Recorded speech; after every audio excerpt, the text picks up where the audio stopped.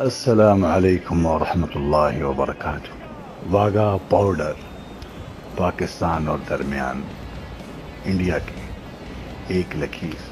آج بھی آپ واگا کی سرحد پر کھڑے ہو کر دیکھ لیجیے کہ کیا کوئی پہاڑ پاکستان اور ہندوستان کو الگ کر رہا ہے؟ کیا ان کے درمیان کوئی دریا حائل ہے جو دونوں ملکوں کے لیے ہزاروں میل لمبی سرحد بن گیا ہو؟ کیا انہیں ایک دوسرے سے الگ کرنے والی کوئی دوسری جغرافیائی رکاوٹ موجود ہے؟ اس کے برعکس وہاں تو کھڑے ہو کر یہ پتہ ہی نہیں چلتا کہ کس جگہ پاکستان کی حد ختم ہوتی ہے اور کہاں سے ہندوستان شروع ہوتا ہے۔ حقیقت یہ ہے کہ پاکستان اور بھارت کے درمیان اصل سرحد دین اور لادینی کی ہے۔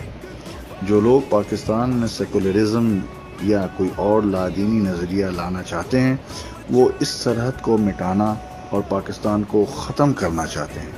اس بات کو اچھی طرح سمجھ لیں کہ اگر ہم یہاں اسلام کا نظام قائم نہیں کرتے، تو عملاً ہم تقسیم ہند کا جواز ختم کر دیتے۔ ہیں اگر یہاں لادینی نظام قائم ہوتا ہے، تو اکھنڈ بھارت کا خواب پورا ہونے میں کتنی مدت لگے گی؟